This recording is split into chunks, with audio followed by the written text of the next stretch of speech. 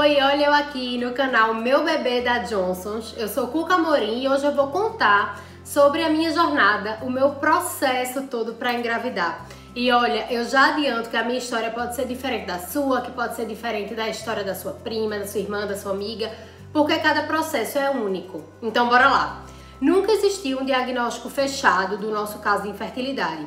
A gente tentou por anos e nada do sonhado positivo chegar. Fizemos todos os exames, testes, tentativas possíveis e como não existia um problema específico, a gente fez todo o passo a passo, né, dos tratamentos mais simples até recorrer à fertilização in vitro. A FIV é o método mais complexo, onde o meu óvulo e o espermatozoide do meu marido se juntam no laboratório e depois o embrião, né, já prontinho, é colocado no meu útero. Foi um período onde a gente exerceu ainda mais a nossa fé, nos fortalecemos muito enquanto casal, porque esse processo é desafiador de todas as formas, física, mental e espiritual.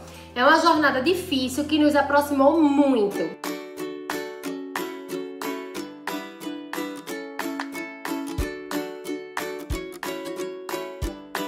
E depois de passar por todas as fases, a gente já fica crente que vai ter o primeiro beta positivo super rápido.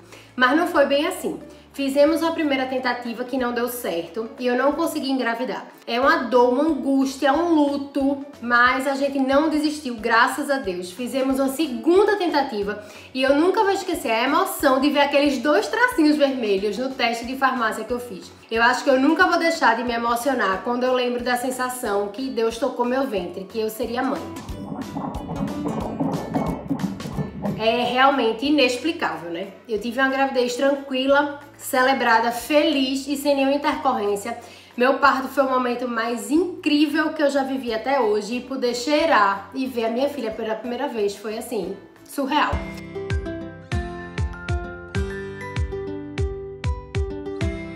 Eu fico por aqui, espero de coração que esse vídeo tenha te inspirado e também mostrado que existem muitas mulheres passando por mais ou menos a mesma situação que eu. Lembre, o que vale a pena ter, vale a pena esperar. Não desista do seu sonho, não se deixe abater.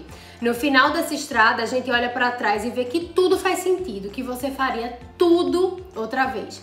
Força, você não tá sozinha. Um beijo e até mais.